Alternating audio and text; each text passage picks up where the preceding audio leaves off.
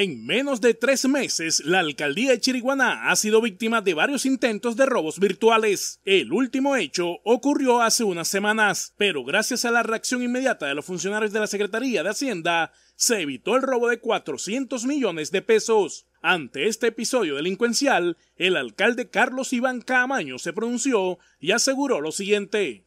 En los últimos tres meses han intentado hurtarse alrededor de 600 millones. Y el último gran intento sucedió entre el jueves y viernes de la semana pasada, en donde el intento superó los 400 millones de pesos.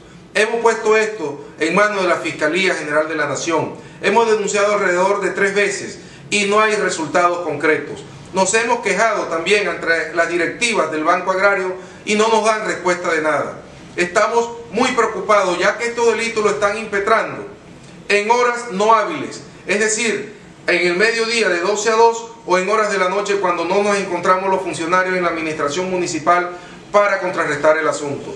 Hemos hecho todas las adecuaciones y modificaciones correspondientes a la banca virtual, a la red, al IP de los diferentes portátiles de la administración, para tratar de estar bien seguros y blindados, pero la vulnerabilidad persiste. Es por ello que he pedido a la Fiscalía General de la Nación contundencia, contundencia en eh, detener a estos delincuentes, ya que no es la primera vez y no solo en esta administración, es un modo modus operandi que se viene presentando desde la administración pasada, eh, en donde el alcalde de turno, Eduardo Esquivel y Sunilda Tolosa presentaron las denuncias correspondientes. Y no hay, no han encontrado todavía a esta mafia, a esta banda delincuencial.